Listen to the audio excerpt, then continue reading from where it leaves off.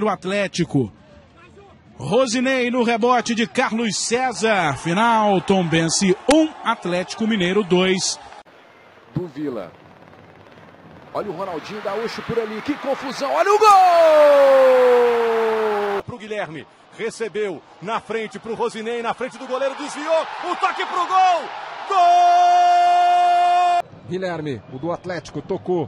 Júnior César ameaçou. Bola pro Bernardo. Edenilson vai com ele. Bernardo tentou cruzamento, desvio! Gol!